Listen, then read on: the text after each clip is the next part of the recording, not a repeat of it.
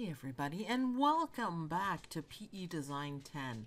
My name is Sue and I'm from OML Embroidery and today we're going to be talking about nodes. So let's get on with it. This is actually a really cool thing that you guys are going to remember. So let's try a just an open line. It's nothing spectacular. I just randomly clicked. It's open.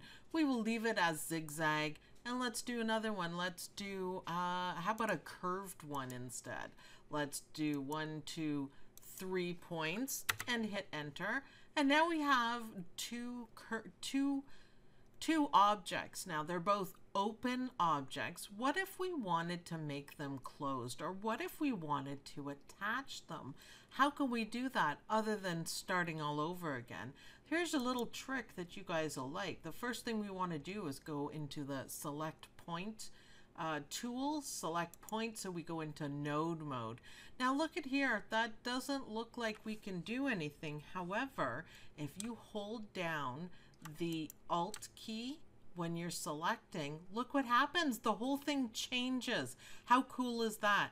Now, the X's show you where you can attach any point. So you can, I'm left clicking and dragging and watch, I'll zoom in on this one. When I reach here, you see a red box and that's gonna join it together. And now it's one piece. Let's do that again with the other piece and we will be able to make this shape, which was two open shapes, now into a closed shape. So hold down the Alt key, select your point, hold down the Alt key, and your cursor turns to this little hand. Let's drag it over here and let go. And look what happens. Now we have a closed piece and it filled in. It filled in because it's closed. How cool is that? Now, of course, you can right click and you can change everything that you want for the closed shape, but isn't that neat?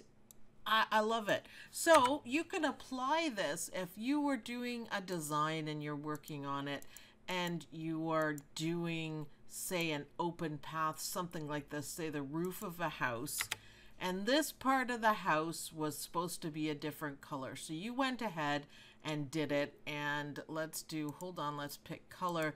Let's do it in a different color. And you wanted it to be, you know, like this and it's a terrible roof. Um, we wouldn't have a roof like that here in Canada, but you know what I mean.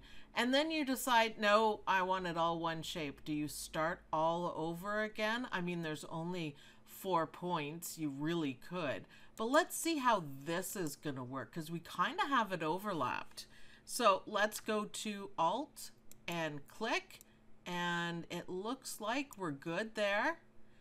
And this one now, if we go back to, uh, I guess we can do it select points, we can see that it isn't together yet. It just isn't yet. So let's do, hold down the Alt key, and now it's going to show me that with this X, that that's the only place it could go. And now look for our red box. That's kind of hard to see.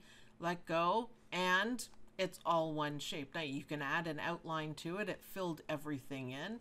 It's easy to add an outline to it. Let's go and right. Oh, there is an outline. It was just hard to see.